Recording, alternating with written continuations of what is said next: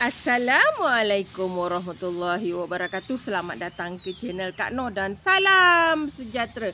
Hari ni Kak Noh nak kongsi dengan kawan Kak Noh buat kuih. Kuih ni dah banyak versi yang Kak Noh buat. Pandan ada, uh, gula merah ada, yang versi cantik ada.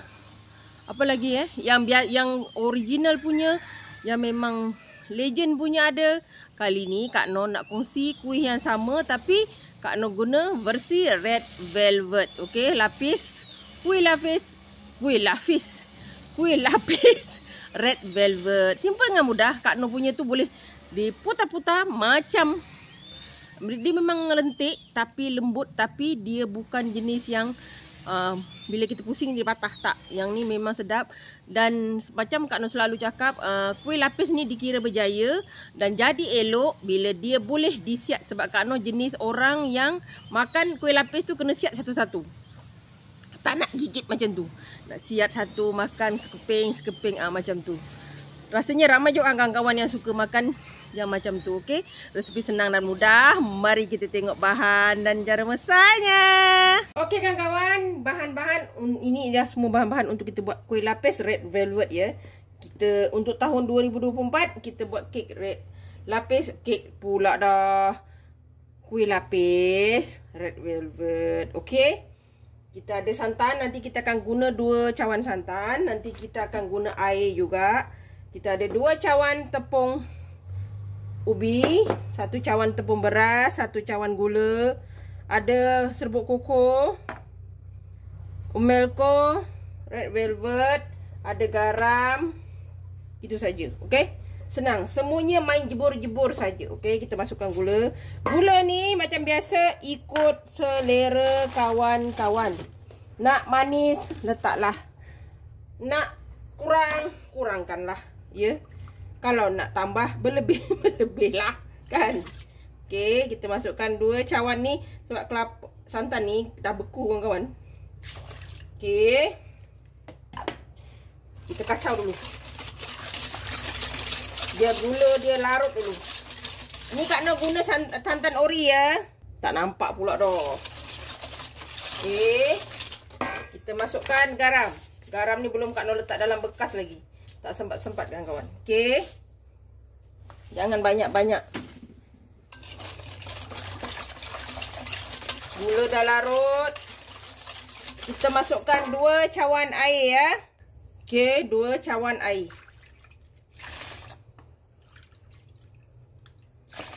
Okey. Dah. Senang saja. Kita masukkan tepung ubi kita.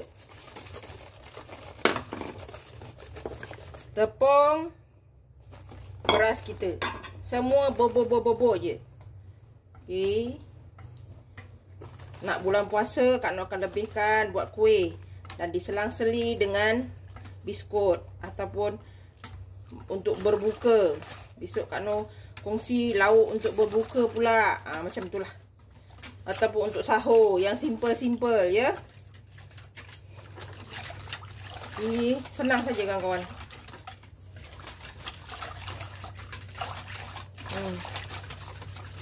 Okey, kita bagikan ni kepada dua bahagian ya.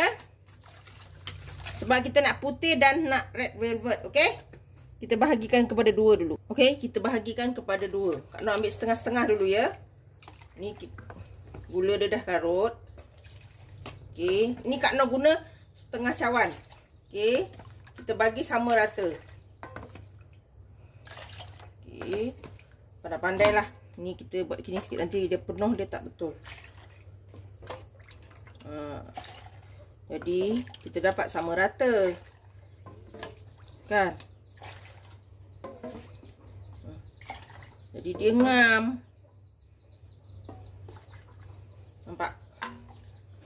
Kan? Jadi salah satu ni kita letak serbuk koko sikit. Nak bagi cantik warna apa? Red velvet tu katanya kena letak sedikit serbuk kuku. Okay, kena letak sikit lah. Okay. Nak bagi cantik katanya. Kita bubuh sikit je. Satu sudu kecil je. Dan kita letak warna red velvet kita. Okay. Secukupnya lah. Kita tengok warna yang kita nak. Okey. Kita kacau. Jadi dia warna dia cantik sikit katanya. Nampak tak? Kalau kita nak lagi, kita bubuh lagi. Kalau kawan-kawan tak nak apa, ah, tapis dulu ya. Nanti lepas ni tapis. Ni kita nak bagi cantik. Nampak tak? Cantik kan? Kita kacau ni sampai dia betul-betul merata lah. Okey kawan-kawan nampak? Dah cantik kan? Okey. Dah siap? Jom kita kukus kuih kita. Macam Kak Dor cakap, kita gunakan sukatan lah. Setengah-setengah macam tu ya. Kita mulakan dengan putih, merah, putih, merah macam tu. Setiap lapisan kita akan letak uh, kukus selama 5 minit atau 7 minit. Jangan lebih sangat ya. Okey kawan-kawan. Nampak tak Kak Dor dah letak?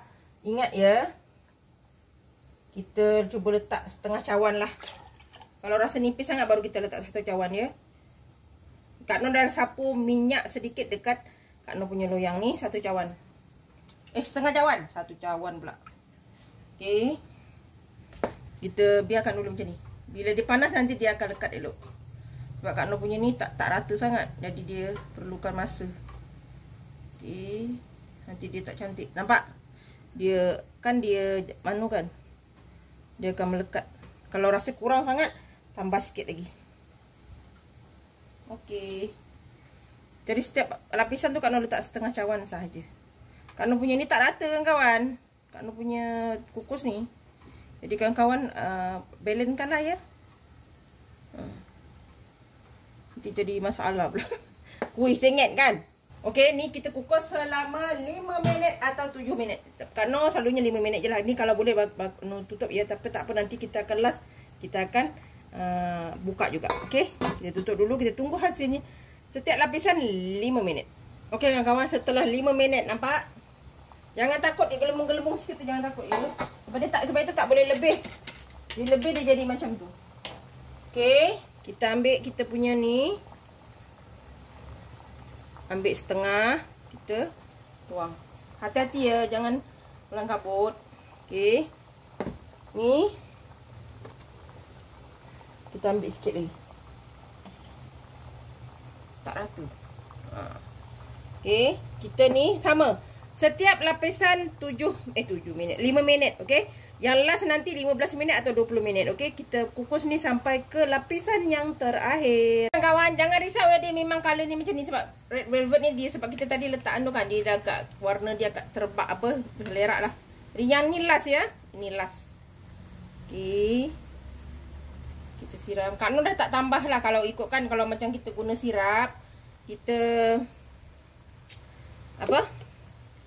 Kita akan tambah color lah. Yang ni tak payah tambah. Dia memang dah merah menyala-nyala gini. Okay. Kita kukus yang ni selama 15 minit atau 20 minit. Sampai dia masak lah. 5 minit yang terakhir kita akan buka penutup dan kita biarkan dia masak macam tu. Agar air di atas uh, kuih kita ni kering. Okay. Kita kukus selama 15 minit atau 20 minit. Okay kan kawan ni dah kering atas dia. Ni tadi Kak Nur tu lupa dia jadi ada bentuk macam ni sikit. Tak apalah ya. Yang penting dia dah merah menyala ni. Kita tunggu sejuk. Kena pastikan betul-betul sejuk baru boleh kita potong kawan-kawan. Kalau tak dapat potong hari ni kita potong esok sebab Kak Nur buat ni dah petang ya. Dah petang pukul 6 ke 7 itu. Jadi kita simpan dululah biar dia sejuk betul-betul sebab dia ni masih lembut tapi tengok air dia dah kering. Kan? Ha, dah kering dah. Okay. Kita tunggulah esok ya. Kalau paling cepat pun esok lah. Ni jangan diikut macam Kak Nur. Tadi Kak Nur buka-buka rupanya angin dia uap dia terkeluar jadi dia, jadi macam ni. Dia tak kering betul-betul. Okay. Okey kan kawan ni nampak Semalam ada lebam-lebam kan Kok dah tak ada Dah elok kan berkilat-kilat cantik kan Ni kita keluarkan dulu Ini Kak Noh simpan semalaman ya Sebab semalam buat dah petang kan Dia masih panas Jadi Kak Noh tunggu paginya Baru Kak Noh Apa uh, potong. Okey kita keluarkan dulu. Okey kan kawan Kita dah keluarkan. Kita potong ya. Kita potong pakai pisau ni lebih senang. Pisau plastik. Oh warna dia tak cakap yang kawan. Nama pun red velvet kan? Nah tengok. Nampak cantik tak? Ni kan tersangkut pula dah. Ni ha. Nampak? Ni? Ha. Ha. Ha Dia boleh dilentur-lentur, dibiat-biat ya. Okay, ni kita potong. Ha, nampak? Nanti kan? Kenyal-kenyal. Kawan-kawan boleh cuba red velvet kita. Lapis red velvet. Okey, Allah tercabut pula. Ha, nampak ni. Cantik dia punya garis tu kan. Ha. Kawan-kawan boleh lah. Okey, kita potong sampai habis lah. Kita potong lagi. Terserah pada kawan-kawan ya. Ha. InsyaAllah dia senang dikoyak. Macam Kak Noh cakap selalu dalam video kuih lapis Kak Noh. Kuih lapis ni dikirakan berjaya bila kuih itu boleh disiat. Ya. Kalau kuih tu boleh disiat maknanya orang tu buat kira dia berjaya lah. Okay. Dia gini. Nampak? Ha. Ha. Nampak? Disiat elok je. Nampak? Ha. Itu dikatakan kuih lapis yang ber jaya. Maknanya jadi elok. Okey? Okey kawan-kawan. Alhamdulillah. Kawan-kawan tengok nampak dia punya corak cantik kan? Uh, warna dia tengoklah. Dia gelap merah-merah dicantikkan. Okey kawan-kawan boleh cuba. Selain daripada kita buat lapis biasa, kita juga boleh buat lapis red velvet. Okey, resipi senang dan mudah. Tak lama lagi kita nak puasa. Mudah-mudahan ada yang boleh buat niaga dan juga boleh buat untuk makan atau bagi-bagi dekat jiran. Okey, resipi senang dan mudah. Jangan lupa like, komen, share and subscribe dan terus sokong Kak Noh. Jangan lupa tekan loceng agar kawan-kawan mendapat video yang terbaru dari Kak Noh. Salam sayang dari Kak Noh. Assalamualaikum. Selamat mencuba.